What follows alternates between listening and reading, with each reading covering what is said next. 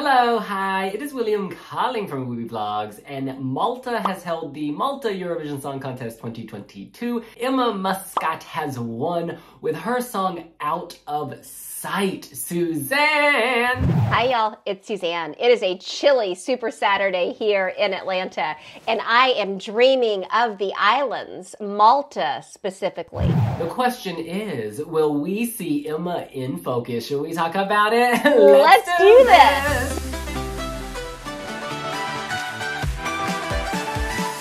Alright, I did not react to the Malta Eurovision Song Contest this year because a few snippets I heard, ooh lord, could have cut that down from 22 to like 4. In any case, we are gonna watch her performance from the final, Hitting Ha Leg. Hey girl, yes, turn to the camera. Mmm, nice eyes in the background. Oh, it's a child. it opens up so beautifully. Nice staging. I love the stars and the fog. Beautiful voice. Oh, she looks like a star. Oh wearing her prom dress. A little Emma behind her. How sweet. I love this Liberty Girl, yes! Oh, she is stunning. She is so beautiful. She's stunning. I love it when she looks into the okay. camera and smiles. Is she building to a big chorus? Take me oh, somewhere. It's really sweet to see a grown Emma holding hands with a younger Emma. What a tribute to oneself, a love song to yourself. I love that bodysuit. wow, she is beautiful. that bodysuit that she's wearing is stunning when she steps out from behind um, the piano. The chorus feels empty like, I don't know what to grab onto musically. Um, uh, this feels very, very old school, old fashioned, but she is amazing. Woo!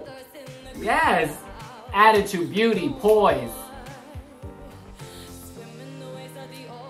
Okay, girl, handography.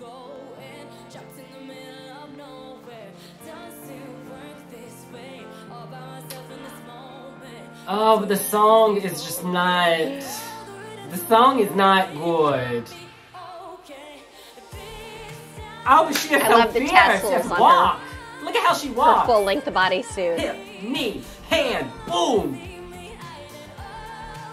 Amazing hair. Amazing shoes, literally on point. Let's get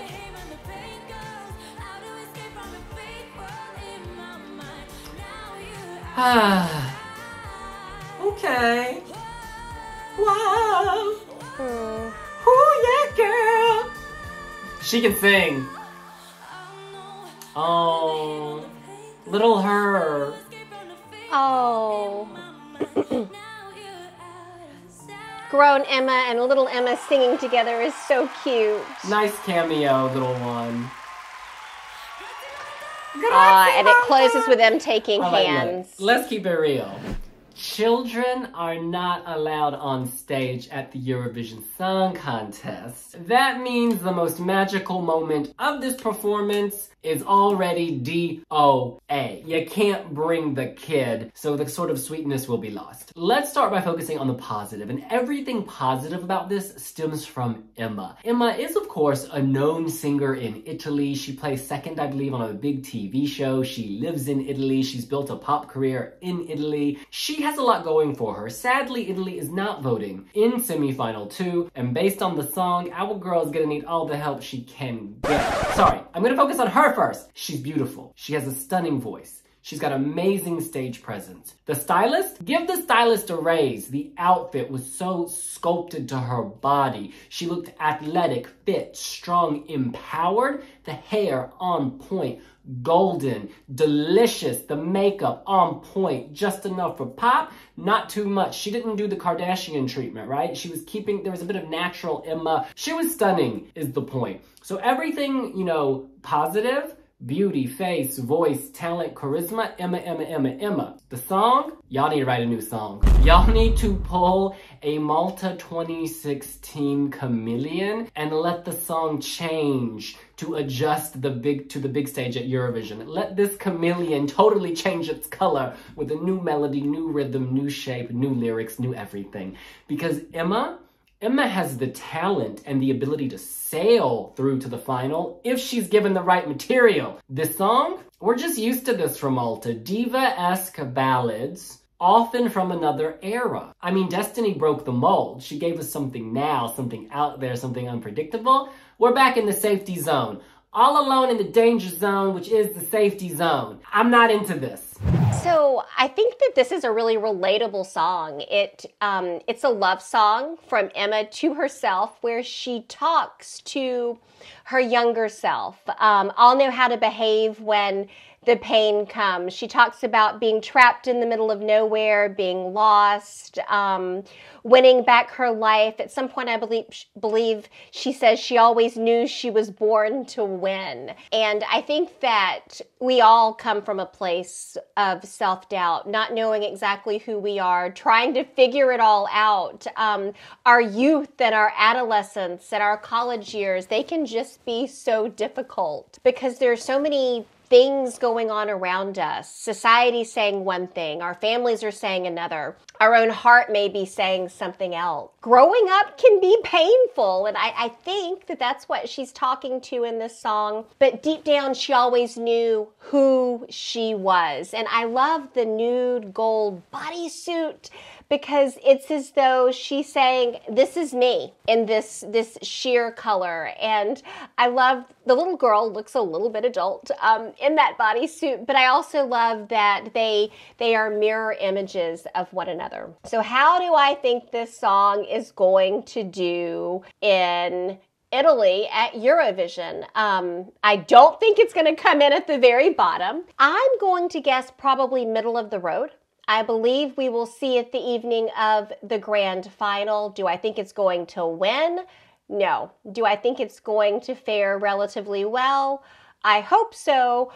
I do think it will make it to the grand final. I want to read you some comments on the Wiwibloggs website. Johnny says, good singer, boring song, such a pity. Doris says, wow, this year is abysmal. So forgettable and bad news, children are not allowed on the ESC stage. I mean, I guess with the child, they can do a digitally kind of projected child. Maybe they can have a hologram child. There could be a younger Emma in some capacity, but definitely not a real child. F oh, FFS, I know what that stands for, says boring. Craigie Mac. This song is okay, but to me it just feels a bit too vanilla. Emma is great, her voice is strong, but this song does nothing for me. It kind of feels like track 11 on an album. To me, if it came on the radio, I'd probably change the station, and if nothing better was on, I'd come back to it. I think Malta may be the shock non-qualifier this year. Okay, I don't think it's a shock. It would be a shock because this song is not lighting fires. Um, Malta is in semifinal two, and as we've said repeatedly throughout this Eurovision season, semifinal two is stacked, particularly in the second half, with countries that don't often qualify. So I do think this semifinal is wide open enough that Malta could squeak through. However, they would significantly improve their chances by revamping this. You know, keep the themes keep the idea of getting out of this fake world in your head, but then just give us something more modern. The chorus almost feels empty. I said this earlier, I don't know what to latch onto. It's like there's no bass, there's nothing They've not layered this properly. I just hear this sort of high-pitched treble, yeah, soundscape, and I want something deeper, something more touching, because Emma deserves that. Emma is queen, and a queen deserves a crown and a song to go with it. Nico says, oh dear, what is it with Malta's obsession with diva-esque female solo singers singing serious songs about self-empowerment, both adult and junior Eurovision? It's like 90% of their entries as of late, and it's getting quite redundant. You have to go back to 2014 to get something actually different And even though I didn't personally care for Coming Home, at least it was in a different style and it did qualify. 2015 Amber, I love her. 2016 Ira Losco, love her. 2017 Claudia, love her. 2018 Christabel, love her. 2019 Michela, then Destiny. Look, I love all of these singers. However, the songs do kind of repeat a theme often.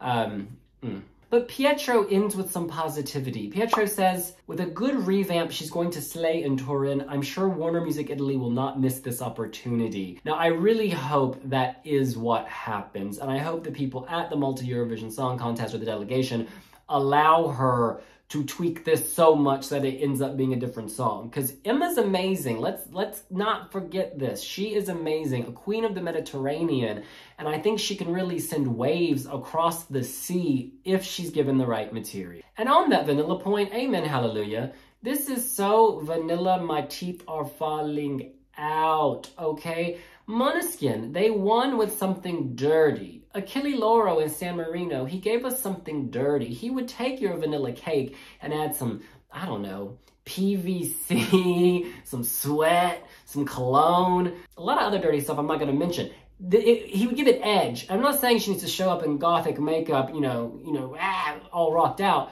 but you can give this something, some kind of flavor. Flavor. In any case, that's what we think. What do you think? Are you living for Emma Muscat? What do you think about her song? Is out of sight, out of focus when it comes to making the final at Eurovision? Let us know here on Wiwibloggs. Don't forget to subscribe, like, follow, share, comment um, on all of our social media platforms Instagram, Facebook, Twitter, the podcast. It's on Apple and Spotify. You can connect with Devin on Pinterest. And let me just say, I do appreciate the sentiment of her song. I do feel the emotion and I feel that she connects with it. And that's why I want her to have a better song so we can connect with it too. Thanks for watching. Bye. Bye.